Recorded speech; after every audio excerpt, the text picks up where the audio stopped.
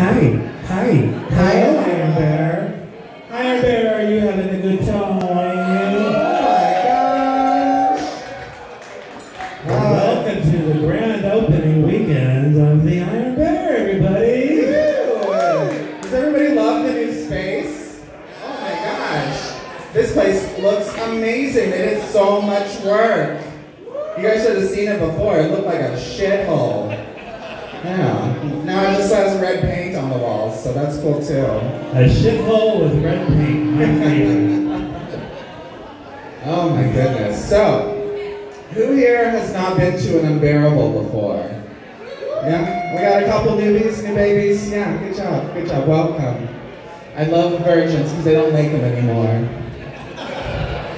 So, and for anybody who's not in the know, there's a bucket right up here in the front. If you like what you're seeing, put a put a tip in the bucket, baby, because it'll get distributed between our guests. So it's a, it'll help them eat some Whataburger a little bit later. It'll buy that hot glue, that E6000, those Yes. 301s. This mic is